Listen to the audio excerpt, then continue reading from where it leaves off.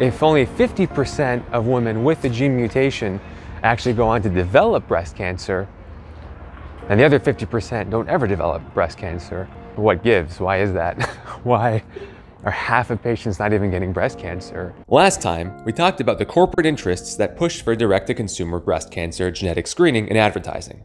Now let's talk about who actually benefits from screening and how much money is generated from this. We'll also talk about Angelina Jolie's influence on screening tests.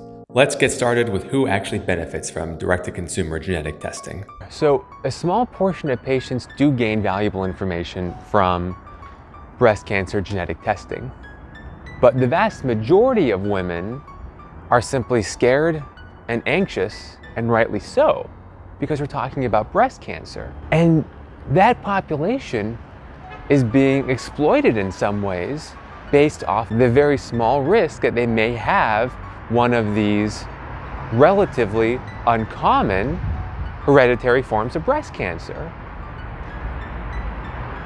And the problem is that what's lost in this messaging is the vast potential for lifestyle to help reduce the breast cancer risk in the first place.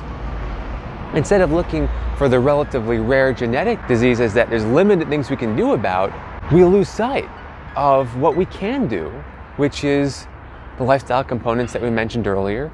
And in particular for breast cancer, we know that body mass index and obesity, alcohol intake, and many other factors play a tangible role in the development. So unfortunately, my patients just don't hear that there's more to the story. They think that the genetic risk is, if not absolute, very close to it, and that there isn't much that they can do. This is clearly preying on vulnerability, particularly when we're talking about breast cancer of all cancers, that, like we said earlier, has so much sensitivity associated with it. On top of that, the results of these tests are confusing to many women. For example, women who test negative for the genetic test wonder, do I still need mammograms if I test negative? Is it okay for me to drink alcohol since I know I'm negative? And for women who test positive, they wonder, do I need a mastectomy now? This is scary stuff. And they simply don't emphasize the potential for lifestyle modification that can reduce the risk of breast cancer, totally separate from the genes that are admittedly much harder to change. So the doctors and scientists behind these walls do incredible life-saving work. There's no question about it. But do you see how the media is in charge of what women actually hear? This is the danger when we have direct-to-consumer advertising and testing.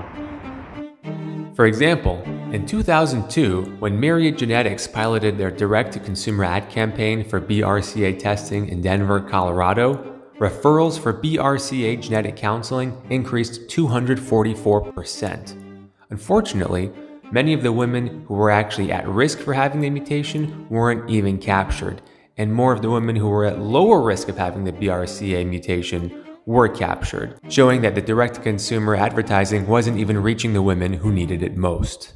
Another example is after the famous editorial by Angelina Jolie in the New York Times. In the 15 business days after the editorial, 4,500 additional BRCA tests were ordered, costing over $13.5 million.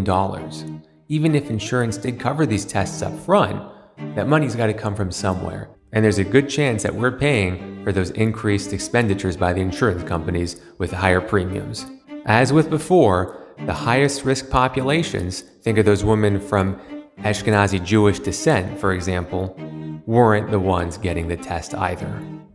There's so much women can do to help take control of their breast cancer risk, and that's motivating to my patients. It certainly changed my mom's life, and I hope that's an empowering story to everyone out there.